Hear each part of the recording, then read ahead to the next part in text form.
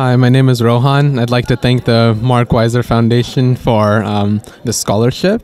I'll be using the funds toward pursuing my higher education as well as my research projects this summer and the summers and semesters to continue. So, once again, thank you very much for this opportunity. It means a lot.